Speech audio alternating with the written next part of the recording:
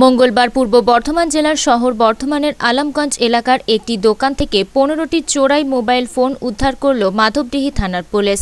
Police দোকানের মালিক সুজিত বিশ্বাসকে গ্রেপ্তার করেছে। উল্লেখ্য, গত আঠাশে ডিসেম্বর পহলামপুর বাজার থেকে দুজনকে মোবাইল ফোন সহ গ্রেপ্তার করে মাধবডিহি থানার পুলিশ।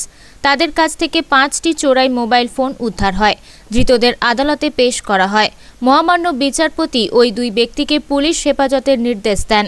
পুলিশ ধৃতদের নিজেদের হেফাজতে নিয়ে জিজ্ঞাসাবাদ করে আলমগঞ্জের ওই দোকানে তল্লাশি চালিয়ে পনেরোটি মোবাইল ফোন সহ দোকানের মালিককে গ্রেপ্তার করে।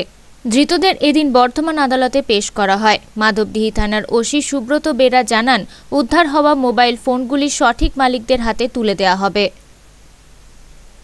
মাধবডিহি থেকে কৃষ্ণ সাহার রিপোর্ট, আনন্দ বার্তা।